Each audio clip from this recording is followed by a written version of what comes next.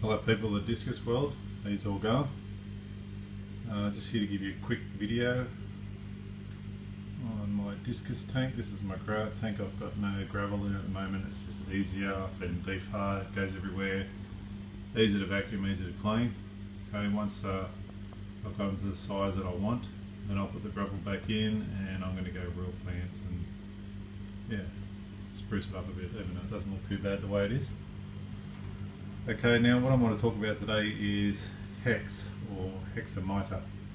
It's a protozoa, I think that's how you pronounce it. Uh, it's a little bug that gets inside their intestinal tract. Now, it's very common. I've been hit with it a few times. And uh, yesterday morning, half of these fish weren't eating. They were in the corner just keeping to themselves, looking very submissive with their head down.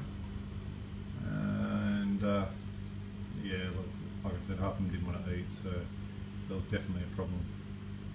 Now, you got to be quick to act on this. You can't leave it and um and ah about it. Mucus poo, it, look, it does happen, but you know, like I find it's it's not straight away. Um, find the hiding in the corner, just not being part of the pack.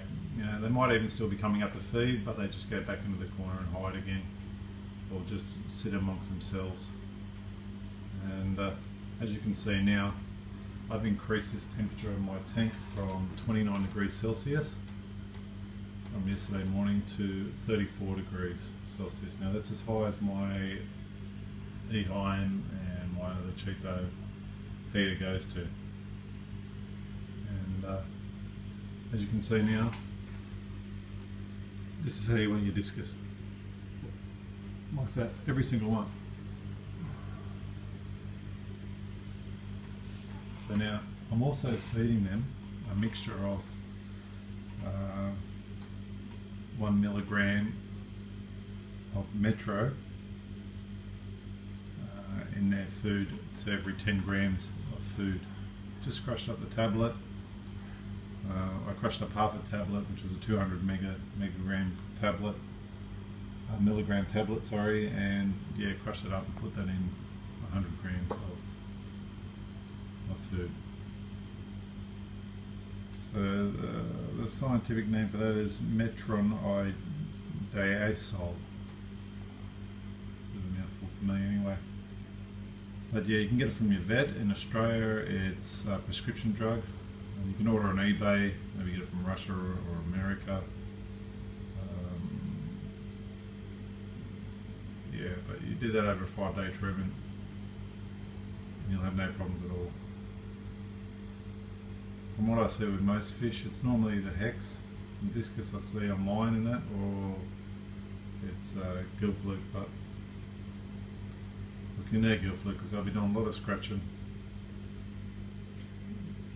maybe hanging at the surface or even at the bottom, difficulty breathing. But with this one, like I said, they just hide in the corner, they get submissive. That white diamond there was a culprit, he's the one that's, that I got it all off, I'm sure of it. He's still the same size as I bought him. So, but just remember that the Metro is an antibiotic, so don't just use it sparsely and make sure you do it for the five day treatment in their food. Now, if they're not eating, I'm not sure what the dosage is, but you can do a, probably 250 milligram, so one tablet, 250 mil mg tablet for every 40 litres of water. Uh, I recommend taking the actual discus that's sick out, or the one that's not eating, putting them over there and just do the rest of them with the food. It's just a lot easier on the food, it's a lot quicker, a lot more effective and you won't be wasting your money on the tablets. So if you do raise your temperature of your tank, just be careful of what you got in, mindful of what you've got in there as well, because not everything likes 34 degrees. And uh, you, got, you have to do this treatment for five to seven days. So um, yeah, I've taken my L66s out over there in another tank. they did not like it at all. yeah, 31 and now I could see they were stressing, so I had to take them out. I don't mind 29, but yeah, once I got to 31, they didn't like it, so I guarantee you that your disc, is- if you're a sick discus, not eating, in the corner submissive, head down a little bit, maybe mucousy white poo, you've got hex.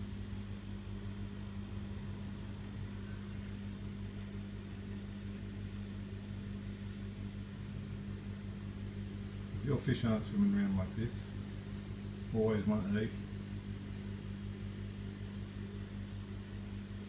At this blue diamond up here. He is just waiting, hogging the area for food. He doesn't want to move in case he gets knocked out. Alright, well, enjoy people. I hope I helped you out in some way. All the internet, all the uh, information's out on the internet. Simply Discus is a great reference site. They have a great area there. Um, great library for diseases and medication. But yeah, if they're not eating, 34 degrees, and they should come on to eat. Now, if your your discus is sick also, like extremely sick, like you very skinny, say it's something like this, one of the stress bars, a small one like that, and he's skinny as, he's on the verge of dying.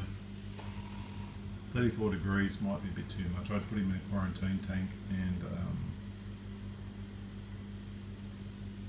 uh, treat the water there, and hopefully he comes back. Just keep the bottom nice and clean. Actually get it from uh, consuming the other discus poos, as you know, they're grazers, so yeah, just keep the bottom clean, keep the treatment up, five days. You don't really need to treat the whole tank. And uh, if you've got it, you just treat the fish. It's easiest. Back in the bottom, get all the poo up every time you see it. I'll tell you what a great thing is if you don't want to do water changes every day. There's one of these vacuums here. These are great. They really are. Look, can you beat that? yeah, make sure you get this cream coloured one. There's like a darker version of it. It's absolutely crap. I Don't even bother with it. Those cream ones, but they are the ants' pants. No, I was just joking. You can't eat it. Alright, Rummy's nose. Neon tetras. Oh, neon. What are you boys? I mean cardinal tetras. I've even got glass catfish in here. Bristle nose. They're all handling 34 degrees. And uh, there's even two Siamese fighting fish in here.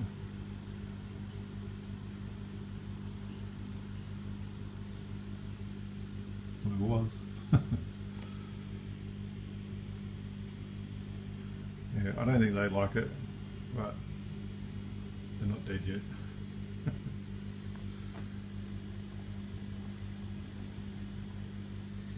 Enjoy. I hope you had discus that are as hungry as this. Thanks for watching.